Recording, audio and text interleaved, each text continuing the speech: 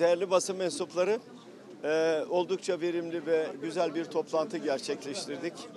E, bir e, bir metin de hazırlandı. E, o metni biraz sonra değerli basın mensuplarıyla e, paylaşacağız. İki genel başkanın imza attığı bir metin.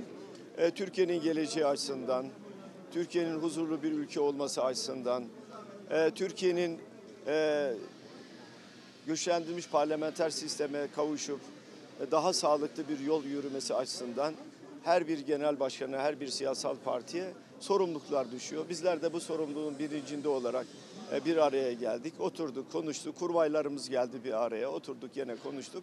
E, Güzel sonuçlar elde edildi. E, Dolayısıyla ev sahipliği yaptığı için e, başta Sayın Genel Başkan'a ve arkadaşlarına da yürekten teşekkür ederim. E, Umarım Türkiye e, güzel güzel günlere gebe zaten. Umarım e, çok daha güzel bir atmosferde e, seçim sonrası tekrar buluşacağız E, ve Türkiye'yi huzura kavuşturacak adımları e, kararlılıkla atacağız. Ben tekrar e, Sayın Genel Başkan'a ve arkadaşlarına yürekten teşekkür ediyorum.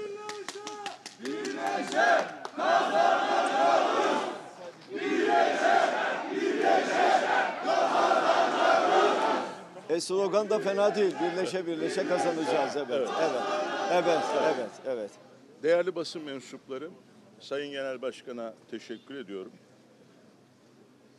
Türkiye'nin en önemli sorunu hiç şüphesiz ülkemizde yaşayan 13 milyon sığınmacı ve kaçağın vatanlarına geri yollanmasıdır.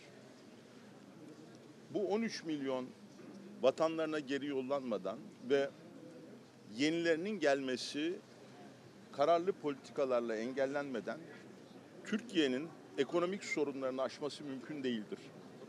Yılda 11 milyar dolar sığınmacılara harcayarak Türk halkını fakirlikten kurtaramayız. Kiraların yükselmesini engelleyemeyiz. Vatandaşlık satarak Türk halkının gayrimenkul alabilmesini rahatlıkla sağlayamayız. Sokaklarda güvenliği sağlayamayız. Çocuklarımıza iş bulamayız. Özetle nasıl bir yüzücünün bacaklarına 20'şer kilo demir bağlarsanız ne kadar iyi yüzücü olursa olsun yüzemez ise bir ülkede 13 milyon sığınmacıyla ekonomisini, güvenliğini doğru bir çizgiye oturtamaz. Bundan dolayı 14 Mayıs seçimlerine giderken Türk halkından biz Zafer Partisi olarak sığınmacıları vatanlarına geri yollamak için destek istedik. Ancak partimizin yeni kurulmuş olması, medyada uygulanan ambargo yeterince erişmemizi vatandaşa engelledi.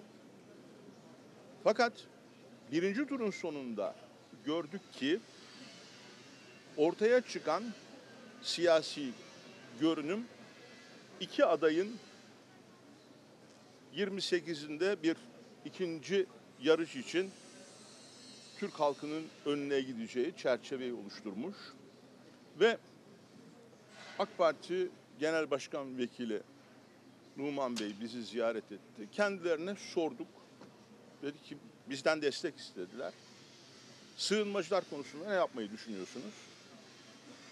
Anlattıkları şey sığınmacıların vatanlarına dönmesini içermiyordu.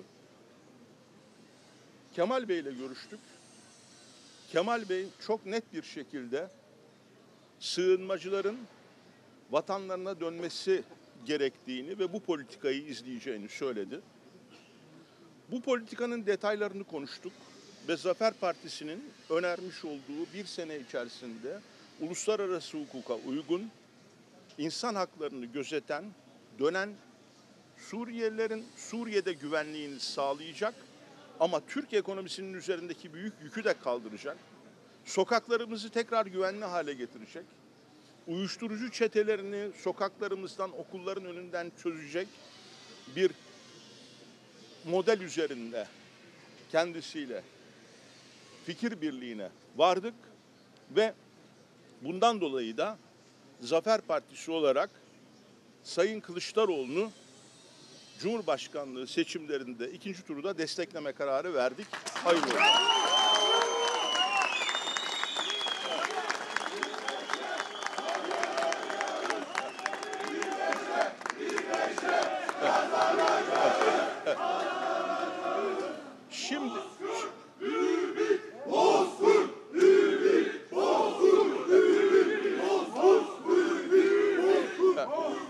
Şimdi buradan birinci turda Cumhur İttifakı'na oy vermiş, Millet İttifakı'na oy vermiş ve Ata İttifakı'na oy vermiş değerli seçmene, bütün seçmenlere çağrım.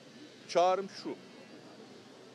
Değerli yurttaşlar, eğer annelerinizden ve babalarınızdan aldığınız Türkiye'yi çocuklarınıza devretmek istiyorsanız, Türkiye'nin Türkiye olarak kalmasını istiyorsanız, Göçmenistan olmasını istemiyorsanız, kızınız sokağa çıktığı zaman endişelenmek istemiyorsanız, akşam saat 21.30'da oğlunuzu köşedeki bakkala yollarken güven içinde yollamak istiyorsanız